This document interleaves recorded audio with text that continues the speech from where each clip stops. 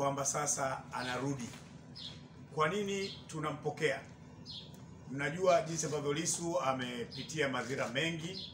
Alikuja akafanya kampeni ya chama hapa, tulifanya kama chama kampeni kubwa ya kutaka kuleta mabadiliko katika nchi hii, lakini baadaye eh, uhai wake ukawa mashakani baada ya kampeni kuisha.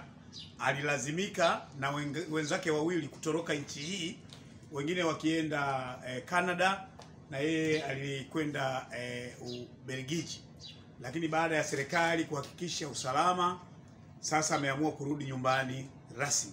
Kwa hiyo tunampokea kama kiongozi mwenzetu, tunampokea kama mwanachama mwenzetu, tunampokea kwa kuwa hakwenda kule kwa hiari kama wengine ambao huwa wanaondoka wanakuwa na visa.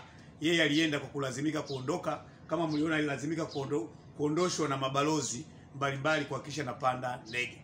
Kwa hiyo tunataka tuwahabarishe kwamba kesho saa saba na nusu Mheshimiwa Tundu Lissu atakuwa ametoka Belgium kwa ndege ya Ethiopian Airline na baada ya kutua uwanja wa ndege na taratibu zote za eh, za, za, za, za, za uwanjani kwa maana ya kwamba mambo ya kugonga mihuri na nini kuingia nchini eh, tutaondoka moja kwa moja kutoka pale kiwanja cha ndege cha Mwalimu Julius Nyerere kwenda Temeke kwenye viwanja vya Buliaga ambako kutakuwa na mkutano mkubwa wa hadhara.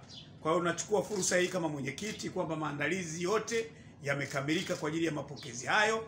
Ni matumaini yetu kwamba watu wengi watajitokeza kwenye uwanja wa ndege, na kama vile haitoshi, tunawakaribisha wananchi wote wa Dar es Salaam na mikoa ya jirani kuja kwenye mkutano wa hadhara ambayo ajenda ya mkutano huo Mheshimiwa Lissu mwenyewe atakuwa nayo akitaka kuzungumza na wananchi baada ya kukaa ughaibuni.